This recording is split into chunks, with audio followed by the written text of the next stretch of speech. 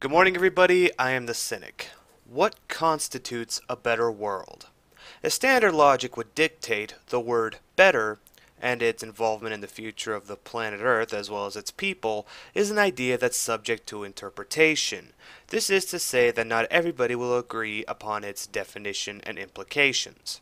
So, we'll be using as universally acceptable the term as I dare to convey.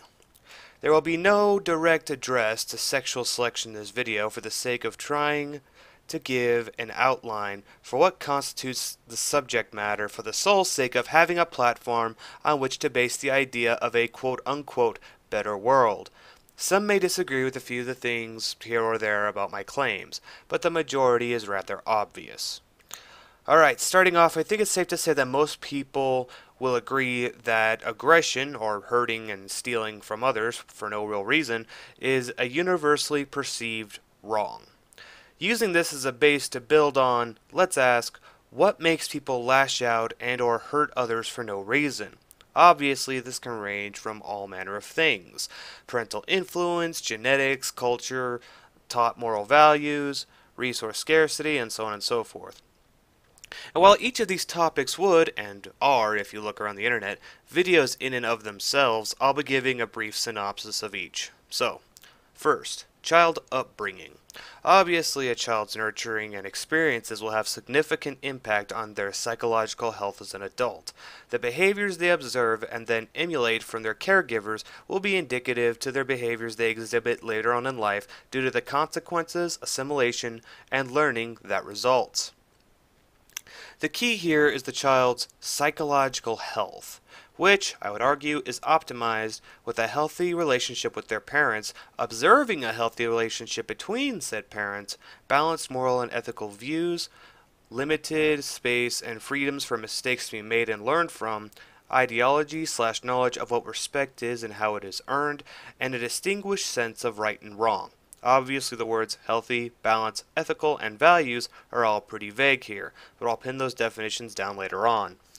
A negative example in child upbringing would be neglecting a child, failing to feed and protect them from situations that, are, that they are incapable of surviving. A positive example would be adequate time spent with a child, teaching them and showing them affection. All of this is universally speaking, of course. Second, genetics, or behavior genetics. Francis Galton, who was praised as the first behavioral geneticist back in the 1800s for his work in heritability of human ability, and his work expanded by what's known as beyond heritability in the form of twin research to determine if characteristics inherited by previous generations both exist and were a significant factor in behavioral development. Twin studies have been the primary tool to determine the influence of genetics upon behavior, but results are controversial to the extent that the influence due to the inability of scientists to completely replicate the twins' environment to the point of adequate duplication. Behavioral genetics is almost synonymous with, evolution, with evolutionary psychology. A, ne a, negative example of behavioral genetics would be aggression and the desire to bring harm to others who's done nothing to deserve it, and a positive example would be assertiveness in gaining accomplishments. All of this, universally speaking, of course. Third, culture, defined as the arts and other manifestations of human intellectual uh, human intellectual achievement regarding collectivity. Culture impacts cultural impact upon children is the external force of influence past the family. As the child grows and explores the world around them, they discover the lifestyles and behaviors of those around them, and use these behaviors as another base in which to determine their own behaviors for both the sake of social acceptance and a moral compass, typically manifested in the argument of, well, everybody else is doing it. Cultures determine what constitutes normality. An explanation in the toxicity of culture is the primitive and impractical belief in a virgin sacrifice in order to yield good crops. A positive explanation would be the belief in freedom so long as nobody else is hurt. Again, all this is universally speaking, of course. Fourth, taught moral values. While culture is the broad influence and the child's upbringing is the implied teacher, moral values are the nitty gritty details upon the decisions, perspectives, preconceived notions, respect, and structure of how an individual will ultimately interact with others, the world, and themselves. Morals, values, and ethics impact empathy, decisions, thought, actions, and perspectives via thought processes and conclusions based on what is taught. Right and wrong, good and bad, acceptable and not acceptable, what is to be respected and what is to be shunned or stopped, who is to be assisted, to what degree, and who is to be dismissed. If sides are to be chosen with prejudice, or if one should remain neutral until an informed decision is made, if the individual should get involved at not involved at all, and most importantly, asking why. An example of a moral negative would be to commit rape due to cultural influence that claim that act acceptable. A moral positive would be assisting a lost child at a carnival. Keep in mind, I said morally right, not safe if you're a man. All of this, universally speaking, of course. And fifth, resource scarcity. Resource defined, a stock of supply or money or materials or staff or other assets that can be drawn on by a person or organization in order to function effectively. Scarcity defined as being in short supply.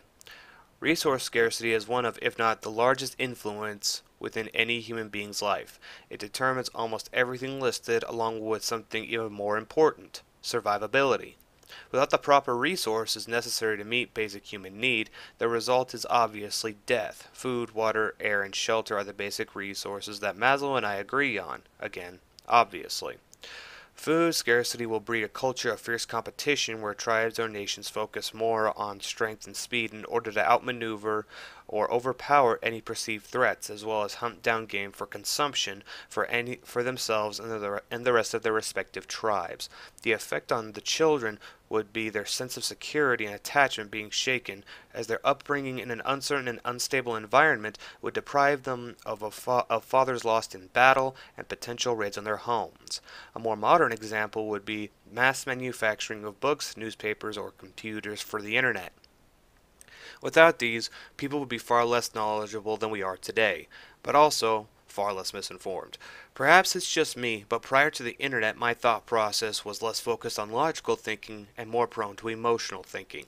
However, through knowledge that I've gained from the internet and arguments presented to me therein, like many other men, I've become more aware of the incrudious ways men have been treated in society since time immemorial, and thus have become a MGTOW.